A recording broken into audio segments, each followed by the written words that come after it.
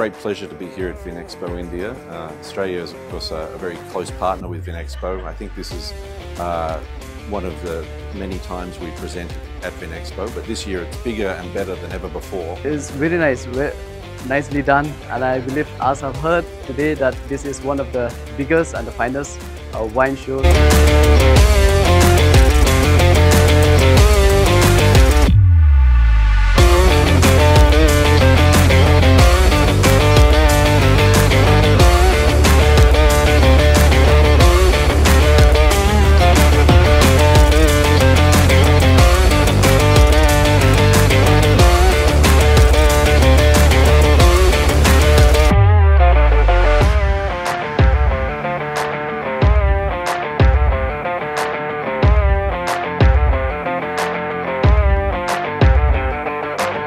Okay, thank you for the Vinexpo. This is my second joining Vinexpo.